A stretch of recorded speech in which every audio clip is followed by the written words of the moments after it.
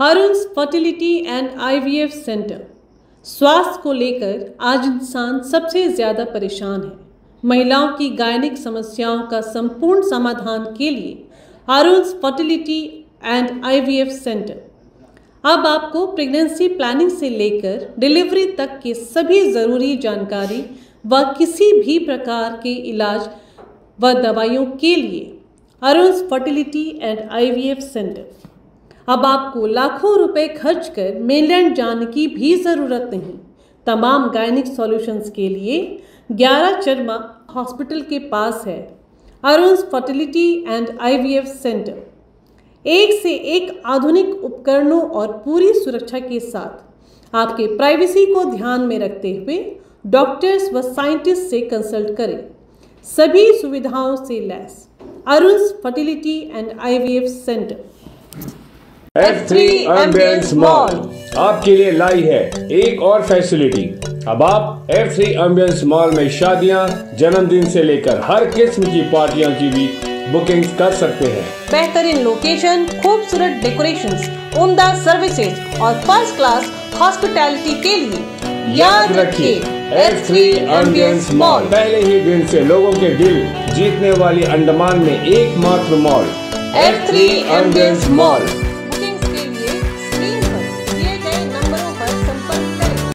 invite Sri Kuldeep Rai Sharma, Indian National Congress, Andaman and Nicobar Islands.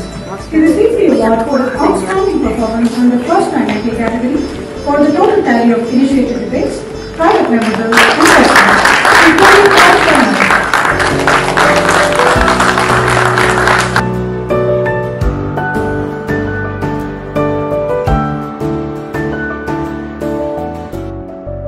नमस्कार, मैं Nita news Andaman, 24/7 में आप सभी का स्वागत करती हूँ।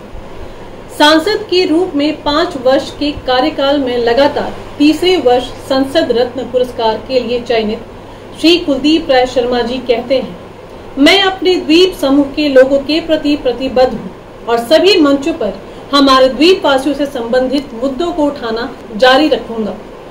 अंडमान निकोबार संसदीय क्षेत्र में सांसद श्री कुलदीप राय शर्मा जी को उनके पाँच साल के कार्यकाल में लगातार तीसरे वर्ष प्रतिष्ठित संसद रत्न पुरस्कार के लिए चुना गया है लोकसभा में पाँच सांसदों और राज्यसभा में 250 सांसदों में से केवल पाँच सांसदों को इस प्रतिष्ठित सम्मान के लिए चुना गया है अंडमान निकोबार द्वीप समूह के संसद सदस्य श्री कुलदीप राय शर्मा जी इस पुरस्कार के लिए चुने गए लोगों में से एक हैं।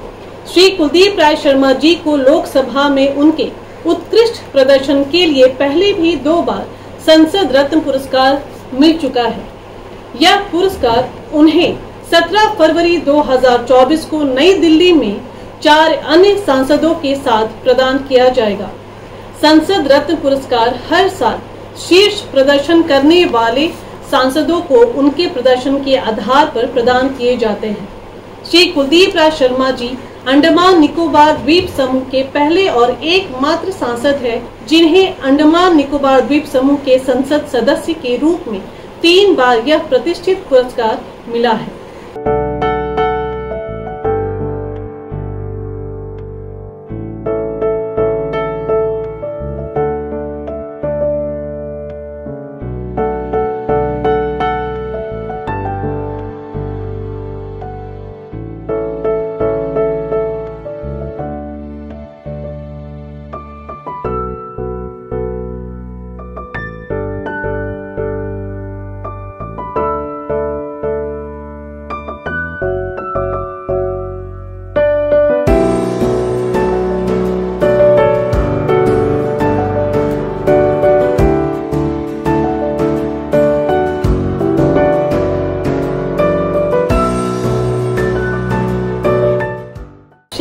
कुलदीप राय शर्मा जी लोकसभा में अंडमान निकोबार द्वीप समूह के लोगों से संबंधित महत्वपूर्ण मुद्दे उठाते रहे हैं।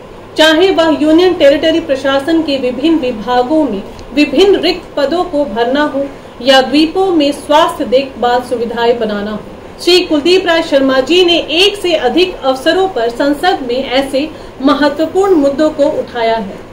इन्फो इंडिया से बात करते हुए श्री कुलदीप राय शर्मा जी ने कहा कि उन्हें खुशी है कि उनकी कड़ी मेहनत को पहचान मिली है और उन्हें तीसरी बार प्रतिष्ठित संसद रत्न पुरस्कार के लिए चुना गया है।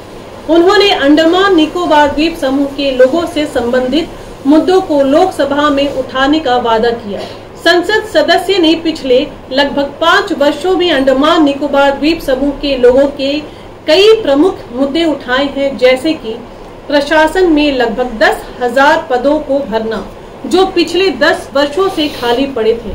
अंडमान के लिए एम्स सुपर स्पेशलिस्ट डॉक्टरों को प्रति नियुक्ति पर अंडमान भेजा जा रहा है। सभी पीएचसी में अल्ट्रासाउंड, रटलैंड परियोजना को पूरा करना और धनी खाड़ी बाँध में पानी स्थानांतरित करना, फ्लैट पे की जल परियोजना को पूरा करना, सिप्पी घाट मीठे पानी की झील का निर्माण कार्य पूरा। बिजली विभाग का निजीकरण नहीं करना, आंगनबाड़ी और आशा कार्यकर्ताओं का वेतन बढ़ाना, इकसठ से पूर्व अतिरिक्त भूमि के सभी छूटे गए मामलों को नियमित करना, अंडमान और निकोबार द्वीप समूह के सभी भूमिहीन लोगों को 200 वर्ग मीटर भूमि प्रदान करना 2012 से पहले के सभी अतिक्रमणों को नियमित करें, डिगलीपुर से पूरी तक दूसरी ओएफसी केबल बिछाना केंद्रीय विश्वविद्यालय का निर्माण, कचाल निवासियों का पुनर्वास, सभी डेली रेटेड मजदूर का नियमितीकरण, सभी डीआरएम्स को वन थर्ड वेतन देना, अंडमान निकोबार लोक सेवा आयोग का निर्माण। पोर्ट ब्लेयर म्यूनिसिपल काउंसिल के एक हज़ार एक सौ पंचानवे आकस्मिक कर्मचारियों की सेवाओं का नियमितीकरण, चाटम बम्बू फ्लैट ब्रिज का निर्माण करना। विधवा एवं वृद्धावस्था पेंशन को सौ रूपए से बढ़ाएँ। तटीय रेखा के साथ वैकल्पिक राजमार्ग का निर्माण। मिनी बेस से मीठा खाड़ी तक पुल। मिडिल स्ट्रेट क्रिक ब्रिज को पूरा करने के लिए द्वीपों में उड़ान योजना की शुरुआत। उत्तर पूर्व की तरह द्वीपवासियों को हवाई सब्सिडी प्रदान करना। द्वीपवासियों के लिए हवाई एंबुलेंस उपलब्ध करना। दक्षिण पूर्व देशों के लिए अंतर्राष्ट्रीय उड़ाने शुरू करना।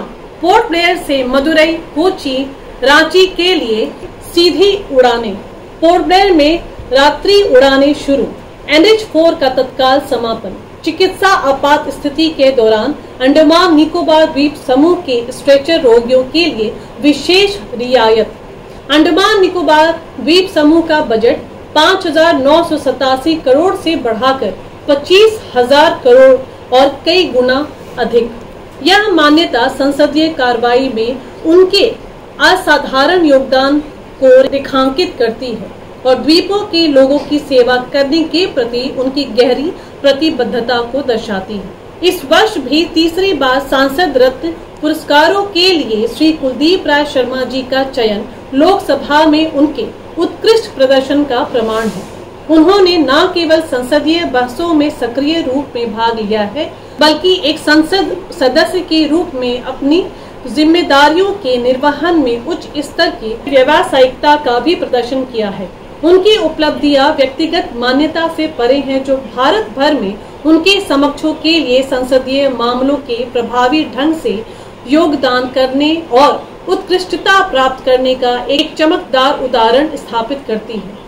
संसद रत्न पुरस्कार जिसे सांसदों के लिए सर्वोच्च सम्मानों में से एक माना जाता है, उन लोगों को दिया जाता है जो अपनी भूमिकाओं में अनुकरणीय समर्पण और क्षमता प्रदर्शित करते हैं। इस वर्ष के संसद रत्न पुरस्कारों के प्रतिष्ठित प्राप्तकर्ताओं में बीजेपी के सुकांत मजुमदार, शिवसेना के श्रीकांत एक नाथ शिंदे, बीजेपी के सुधीर गुप्ता राकापा के अनमोल राम सिंह कोल्हे और कांग्रेस के श्री कुलदीप राय शर्मा जी शामिल हैं। हम न्यूज़ अंडमान 24/7 की ओर से भी पूरी टीम की तरफ़ से उन्हें ढेरों शुभकामनाएँ देते हैं। अगर आपको हमारा यह एपिसोड सूचनात्मक व ज्ञान वर्धक लगे तो कृपया लाइक शेयर व सब्सक्राइब ज़रूर करें। और जी हाँ कमेंट सेक्शन में अपनी राय देना ना भूलें। इसी के साथ मैं नीता न्यूज़ अंडमान 24/7 से आज की कड़ी से विदा लेती हूँ। नमस्कार।